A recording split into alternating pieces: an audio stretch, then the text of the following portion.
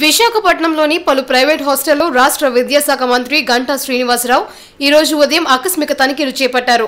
శ్రీ చైతన్య నారాయణ కళాశాల హాస్టల్లో వసతులు మెస్ స్టడీ విధానాలను పరిశీలించారు. నిబంధనలను ఉల్లంఘించిన కళాశాలలపై కఠిన చర్యలు తప్పవని హెచ్చరించారు. ఇంటర్ బోర్డు నిబంధనలను అన్ని కళాశాలలు విధిగా పాటించాల్సిందేనన్నారు.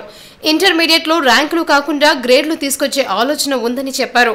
ప్రైవేట్ కళాశాలలో ఇంటర్ విద్యార్థుల ఆత్మహత్యలపై మంత్రి గంటా స్పందిస్తూ పిల్లల ప్రాణాల కంటే ఏది ముఖ్యం కాదని అన్నారు. అవసరమైతే కళాశాల యాజమాన్యాలపై క్రిమినల్ కేసులు పెట్టేందుకు కూడా వెనకడబోమని స్పష్టం చేశారు. దీనిపై ఈ నెల పదహారున కాలేజీ యాజమాన్యాలతో సమావేశం ఏర్పాటు చేస్తున్నట్లు తెలిపారు.